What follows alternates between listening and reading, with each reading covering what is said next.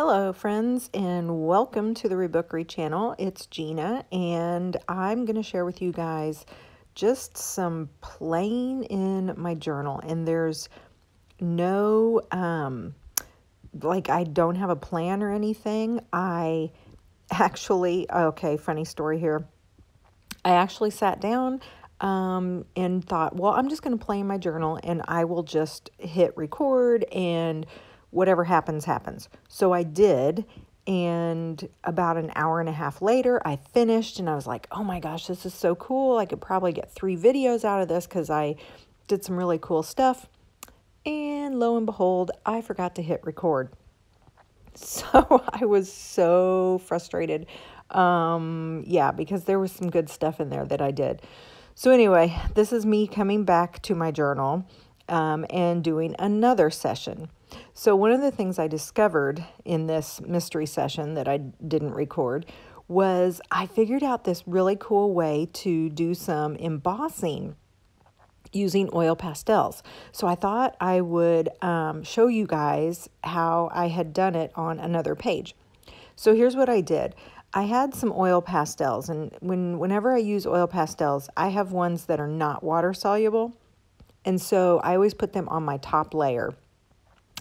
Um, but they they just kind of sit there and you can put a fixative over them, but um, a lot of times I just leave them the way they are and they can become sticky and they can smudge. So I thought about what if I put some embossing powder over it and, and I heated it up. So here's what I did is I took some oil pastel, I heated it up with my um, heat gun. And once it got a little sticky, um, and you can kind of see where it becomes shiny. I sprinkled some embossing powder. Now, I just did um, like a clear embossing powder, but you could do colored. And then it stuck to the oil. So then I went ahead with my heat gun and I heated it up to where the granules melted and it became that slick embossing um, type of texture, which was kind of cool. And I discovered it by accident when I had made that mystery um, that mystery journaling session. So I thought that was kind of cool and I had some oil pastel on another page and I thought I would go ahead and try to recreate that. I really like it because it seals in the oil and um, it adds a little bit of texture and a little bit of dimension and because it's embossing powder it's slick so like right now I'm painting on the insides but I can wipe off the excess paint um, because it's not going to stick as well to that embossing powder, the, the embossed part, because it's more of like a plastic. So this page is just one that um, I put down an image from a Dick and Jane book, and then I painted over it, and then I painted over it again, and then um, I added the oil pastels, and then I embossed, and then I'm just like, you know, I really don't, there, I just, I don't know, something's not jiving. So I just grabbed some colors and um, just started slapping some paint down. Now, again, I have no um, idea what I'm doing here. I am just in this, I'm in this, uh, well, there's a lot of chaos going on at my house right now. So, full disclosure, um, we have, our entire house is a hot mess. We had bought some wood flooring last summer. It was on clearance and we bought it and stored it in the garage with the idea that we were going to remove all the disgusting carpet in this house um, and lay the wood floor throughout our whole house um, this summer. So this summer is here, and this project has now turned into um, painting because it had been 13 years since we moved in and painted. So we have to paint all of the rooms um, and rip up all the carpet. And that with 13 years of accumulated stuff, we are basically just picking up stuff and moving it from one room to another. And it is just. I can't even explain the chaos. Um, I'm very thankful that we are able to do this, and I am grateful for um, us having this nice house. But in the meantime, this has just been a hot mess. So my room, the room that I'm actually in right now filming this, okay, here's here's how this goes down. Um, it's got half carpet, half wood floor, half, well, I know there's not three halves, but, um, and then part of the floor is just the concrete with the plastic um, underlayment sitting over it. There is stacks of wood floor. There is no tables because we've removed the tables. So the desk that I'm on here is like the only table left. Um, and then just piles of junk in the middle of the floor. So I had actually filmed what the room looked like before I started um, that mystery journal session. And of course, didn't hit record. So it totally makes sense because my life is in chaos right now. So that would make sense that my filming would be chaotic right now. So, anyway, I am just kind of sitting here trying to sort out some ideas and just kind of get, a, I have to stay sane during this. Um, so I'm just kind of trying to get some creative juices going uh, before I have to turn around and look at the mess and pick up where we left off the day before, which um, the older my husband and I get, the more breaks we need to take in between projects. we used to, back in our 20s and 30s, man, we could knock out house projects left and right. But now, we usually work for a couple of days and then we have to take like a week break. Um, so, yeah. So, this is me stealing a little bit of time and just, I'm just going through. And when I work in my journals, especially at the beginning when I first start a journal, I really just kind of go through and if if something catches my eye, if a if a page from a book catches my eye or an image or a sticker or a stamp or um, something that I got in the mail catches my eye, I'll just put it in anywhere in my journal. It doesn't matter where it is because again, it's all about layers and I'm just I'm just putting down that foundational layer. So you'll see that I've got like on this page right here, that is the label from some feed sacks that I got earlier this summer. And I just put it down as my foundational layer. Um, I don't know if I'll cover the whole thing up, but it's just that first layer. Um, and and I, I love I love building up in layers. If you remember when we first started this altered book, the first one of the first fun things we did once we got our book set up was we just kind of went through with ink and paint and we just kind of we just kind of messed up the pages a little bit, put a little bit of color on those pages. And so that was like our our beginning. And then now what I do is I go through and I just add anything that I feel like adding. Um, it could be paper or it could be paint or it could be um, like drawing or it could be writing. So this is like another another bottom layer and then I just kind of over time progressively build up those layers. So I have some books here. Um, actually, this I filmed this before I did my vintage farm kits um, in Etsy, but these were some of the books that I wasn't able to use because they had torn pages. So I'm just kind of looking through them to see if there was any images because for whatever reason this page makes me think of farms. But I couldn't find anything that I really wanted to use, so I kind of abandoned that. I had a Sesame Street book, and I love Sesame Street, and I love Sesame Street books because of the the one the ones that were made in the 70s just has the best illustrations and the the most awesome colors and that's my jam and I just wanted to use you know like something of that era in this journal. I just felt like it needed it. And so there's this page um, of these fireflies and I was like, "Oh, you know what? We're we just commented the other night on how we're really starting to see a lot of fireflies um, in the evening. And so I was just like, you know what? I'm going to put that page in there. Now I'm going to put the whole page in. Um, I'm going to trim it down a little bit, but I'm, I'm going to put it in and I don't know, we'll see what happens. I may cover it up. I, I may not cover it up. I may just use it as an accent. Um, but I just, I felt like I just wanted to include that page.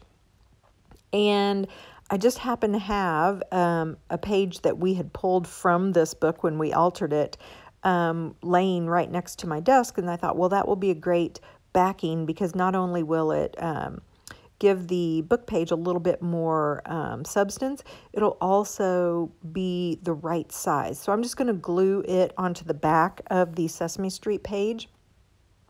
And then I'm going to take it over to my sewing machine and I'm going to stitch it up just to add a little bit of interest to it. Um, and then I'll go ahead and I will tape it into my journal. Now, you're going to see in this video how I'm kind of jumping around and I abandon a lot of pages. That is totally okay. That is part of the process. And a lot of times, um, people ask, you know, did you film that journal process whenever I post a spread or something on Instagram? And, you know, typically I say, no, I didn't because I, I don't think, um, like people understand the process takes me an hour or two, sometimes days, because I'll just go back and forth. Um, I'll put a little bit of something on this page. I'll add an image to this page. I'll add a piece of tape to this page. And I jump back and forth. And so for the longest time, I kept thinking for me to film that, that would be very discombobulated. Like people would not, maybe not understand that that's just part of the process. Um, but as I'm making more videos and as I'm getting more comfortable with my journaling style, I've really thought about, you know, I need to be filming that. And so that that was my attempt when I made that mystery video um, because, oh my God, it was so, it was so good. I wished I was so mad at myself um, when I found out I hadn't recorded that. And it was perfect because nobody was at the house, so it was nice and quiet. Yeah, and, and you saw me bounce around from page to page. So anyway, here's me doing that again. Um, I think I did have to wait uh, because I was so mad at myself. I did wait a day or two before I filmed this one because I was just so mad and, and I was like, I don't want to do it because then it'll be too, um, like it, it'll look like I tried to to recreate what I had messed up. So so this is authentic and this is me doing it the next uh, I think I did it the next day. But again, it's the same process. Like I'll just play with a page for a while. Um, if something speaks to me, like on this this side over here on this left hand side, I was like, man, I really want to use some Payne's gray, um, and I I think I'm just feeling like I want to use that color today, and so I did, and it matched um, the paint, or I'm sorry, it matched the colors over on that Sesame Street. Uh, page and so I was like yeah that that's perfect um, and then I was like, okay, I'm going to go a little bit farther. I'm going to add, I'm going to add some ink. I'm going to add some um, some spray ink here that has a little bit of uh, some metallic in it because, you know, I'm kind of feeling the night vibe and and maybe add some white so it kind of looks like stars and um, put some of that over on that Sesame Street page so it kind of ties the two together. And so you would think that, okay, here's where she's going in this process. She's going to complete this whole page. Um, but I don't. And that's okay because I don't want to right now. I, I just want to put just enough and then I'm done with it. And and here's here's the cool thing that I have found and this is the way that I journal. So if you don't journal this way, that is okay, but I like to leave some for me to do later. And that's kind of where I take this page. I'm like, yeah, I get a nice foundation. And then I'm like, okay, I'm done. And so I move on to the next one. Now, this next one, see that image, those uh, nine squares on the left hand side? I think the caption underneath that says in your kitchen or something like that, but it's a kitchen window. And when I saw that, I was like, okay, I think that's kind of cool because it would look like if you were looking out your kitchen window. And I happen to have these bird stamps and it was just the right size. And so I thought, wouldn't that be cool to make an image that looked like you were looking out your kitchen window? Because when I look out my kitchen window, I can see the crazy birds that are hanging out down by the bird feeder in the bird bath. And so I thought, well, I'll just recreate that. So I totally abandoned um, the first two or three pages, and now I'm working on another page. It seems hap- haphazard, but in my mind it's just part of that process. It's it's i'm not in the finishing stage right now. I'm in the the playing the layering stage.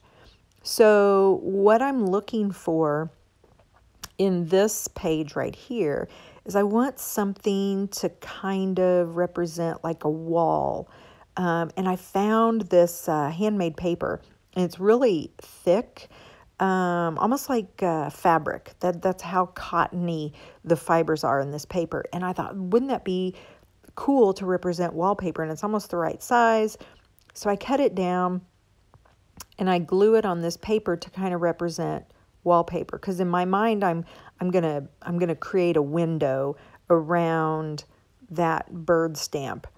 So I put this down and it adds a nice strength to to that paper that I put into that book page.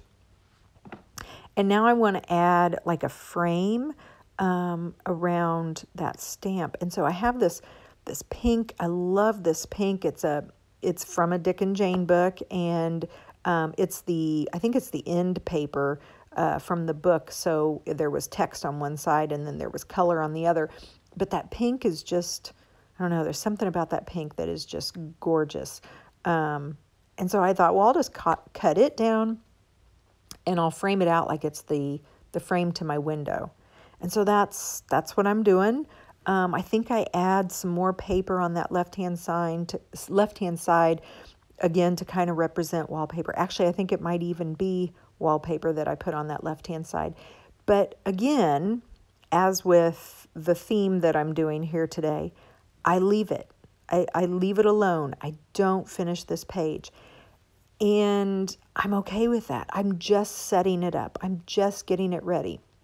Because there are days where I will take my supplies, I have them in tubs, and they're portable. Like I carry them all over the house, and I'll go outside and I'll sit um, for hours on my deck or um, underneath um, on the patio, and I'll just play. I'll play with pins and markers um, and stickers and that's that's when I finish the pages. And so I'm really just kind of setting these pages up for a day of when I go outside and I just have my tubs of markers and I'm just playing and I'll I'll finish it. And I think I've I've told you guys this before. I call that pin work where I just doodle and I add accents and and little dots of interest and and maybe some words. And that's the finishing. That's like the icing on the cake. So so like today was all about just building up the cake. And then one day who knows when it may be this fall it may be next week it may be tomorrow i take my journal out and i i finish up these pages and so that's kind of what I wanted you guys to take away from this video is that you don't have to sit down and complete something all in one one fell swoop. The other thing is you kind of just get to a point where you're like, okay, I'm kind of done and I'm over this and I need to go find something else to do today. And that's about where I'm at in this video. You'll see um, I kind of fumble around, try to figure out, you know, is there anything else I want to add, anything else I want to do? Nothing really is striking me as, um, you know, something that needs to go in the journal. I'm, I've kind of used up all my creativity. And then all of a sudden, I'm just like, okay, I'm done. And I close the journal and the video's over. And that's okay too. Knowing that you can always come back to your journal. I mean, it's not going anywhere. So if you leave a page undone, it's okay. It gives you a great place to pick up when you come back to your journal and you have a fresh mind and you have fresh ideas and maybe some new inspiration. It's so okay to abandon a page. Um, it's okay to leave a page unfinished. It's okay to leave a page um, half done. It's okay to leave a page blank. Um, I look through some of my journals that I've done, you know, over the years, and I have a lot of pages that are just just that. They're just at this stage right here, and I just left them. And it's okay. Um, there's no rule that says you have to finish anything. There's no rule that says every single page needs to be a work of art. Remember that your journal is about the process. It's about the inspiration and the fun and the creativity and the joy and the therapy that you get as you are playing around with color and images and all the things that make you happy. So I hope you enjoyed this video. It was kind of a long one.